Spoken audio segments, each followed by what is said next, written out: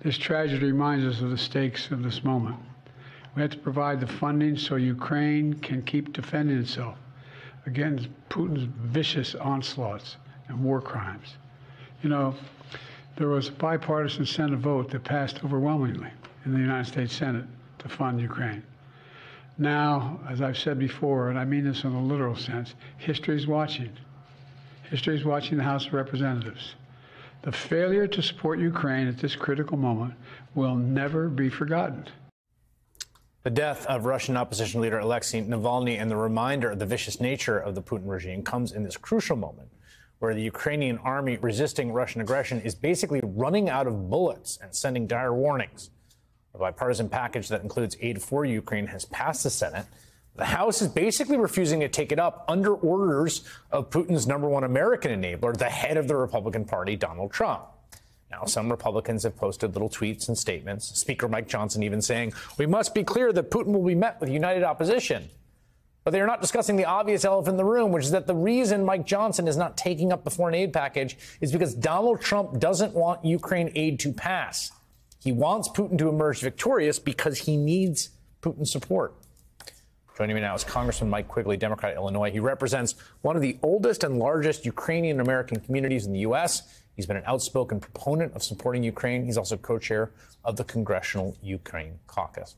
Congressman, it's great to have you on. Um, first, just start with, with what you think the, the import of the death of Navalny in Russian custody is for the conversation debate about aid here in the U.S.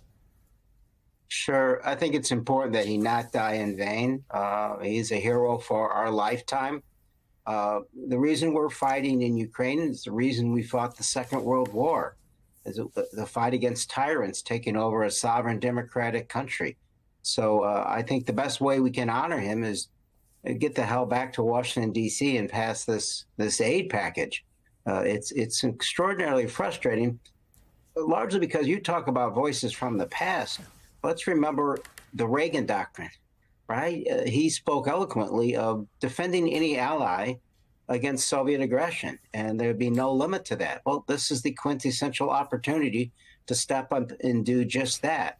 And remember uh, that uh, I guess I will also remember that uh, we still have other friends there, uh, Evan, Paul, Mark, and others, as well as what, you know, roughly 100,000 Ukrainian children stolen by Putin. If this isn't the time we step up, we've got to ask ourselves who we are as a country. Now, there is a Senate bill that's passed. Uh, the House has just been uh, is on recess for the next two weeks, if I understand that correctly, through February 28th, I believe. Um, this is the Wall Street Journal today talking about how Mike Johnson's basically lost control of the House of Representatives. I can't think of a better way to say it, and, and, how he would get this to the floor. Johnson's challenge uses uniting his conference now loom over efforts to shore up Ukraine, just as Congress also faces deadlines next month to pass legislation funding the federal government and avoid a partial shutdown.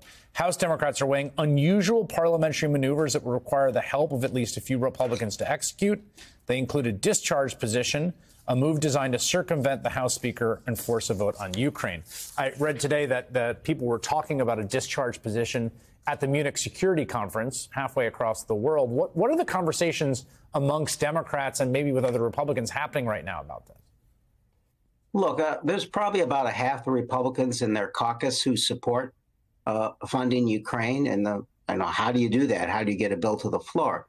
First, uh, real simple the speaker lets the bill get to the floor. I think democracy dictates that. When the Senate passes something in this day and age with 70 votes, I mean, McCann put the bill on the floor.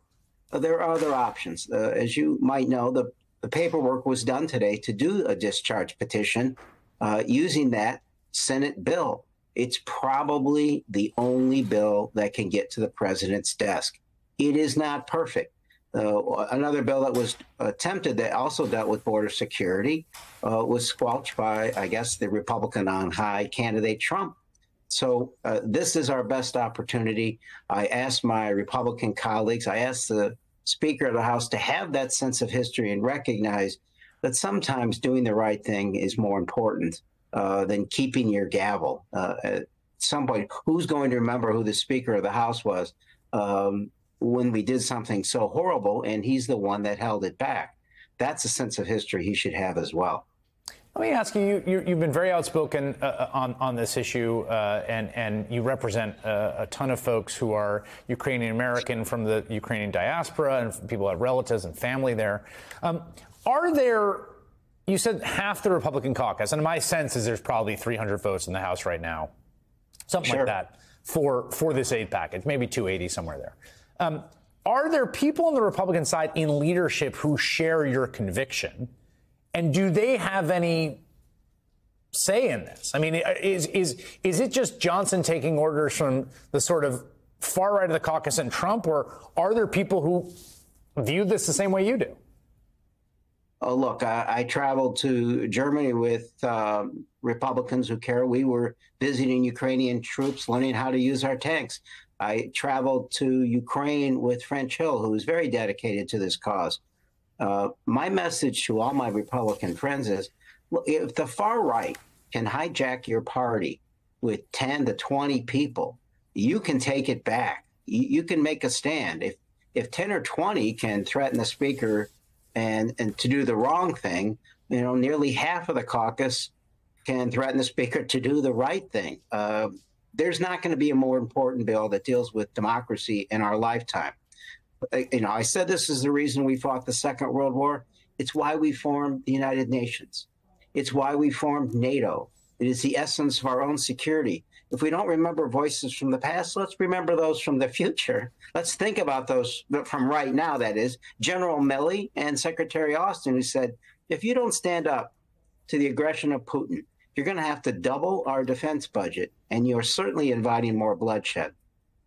All right, Congressman Mike Quigley again, uh, Congressman from Illinois, Chicago, uh, neighborhoods I lived in and loved. It's uh, great to have you on, Congressman. Thank you very much. Thank you.